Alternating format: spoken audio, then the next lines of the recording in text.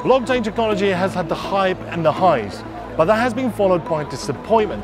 But now people say it is quietly revolutionizing the world of food and drinks. So what is exactly going on? Let's find out.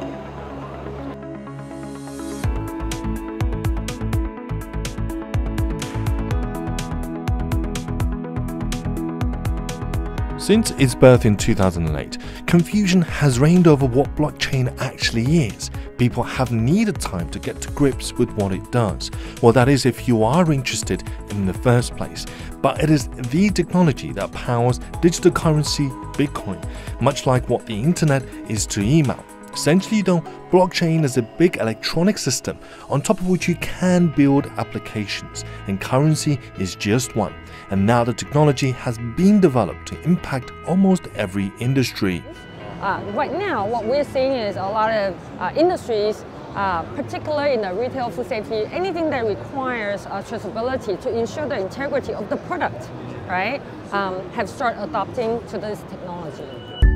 PwC, one of the leading figures in blockchain adoption, has teamed up with blockchain application platform VeChain to help Walmart China supermarkets for food tracking projects, and it's called the Walmart China Blockchain Traceability Platform we help the supplier of the supermarket to trace uh, from the origin of their agricultural products to logistics and then to the store.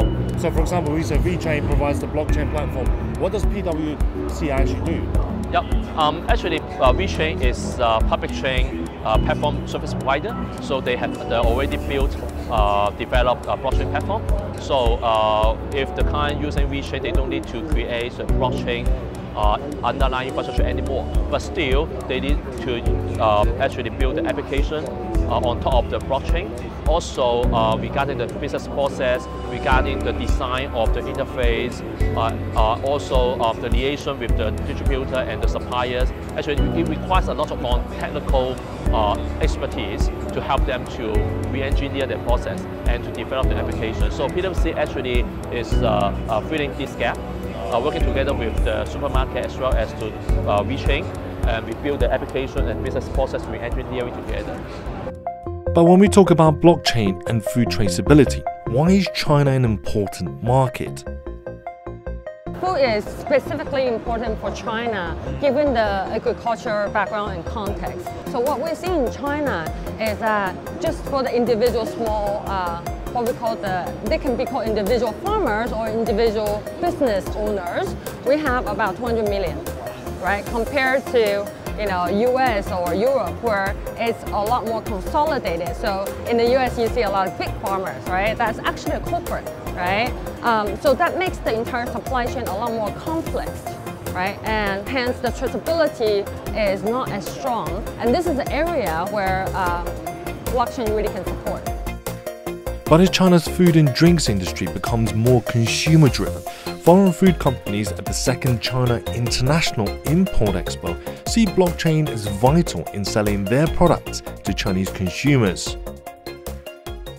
I think for us it gives us complete visibility all the way down to the consumer experience and, and both from a brand point of view, whether we're representing a customer with their brand or some of our brands that we're developing, it allows us to get insight into customer behaviour, customer location, customer contact with our brands and then equally if issues do arise on a trust side, even on a product recall side, we've got complete confidence we can go all the way through to the consumer point and that's essential. For example, our sea cucumber products are caught in one of the rem remotest parts of uh, New Zealand that's only accessible by uh, fishing boat. For us, trying to communicate that message to the end consumer is, is really important for us uh, moving forward to, to separate our products from our competitors. But is blockchain the answer to solving food safety concerns from consumers? I think it's part of the whole solution. I wouldn't say there's a solution for all the food safety issues. It's definitely part of it. I think food safety essentially, um, there are many elements including how to actually process, right, the entire factory setup, standard, etc. But it's definitely the start to food safety. It is driving the standard of process, but it's not perfecting the process. So, with blockchain, there's actually nothing wrong with the technology, but finding the right use for it is now the challenge, and is desperately seeking a problem to solve. And that might just be food and drinks. I'm Josh, stay tuned with China Matters.